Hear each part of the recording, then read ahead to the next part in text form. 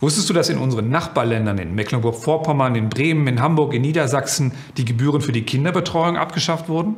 Nur hier in Schleswig-Holstein müssen Eltern weiter zahlen.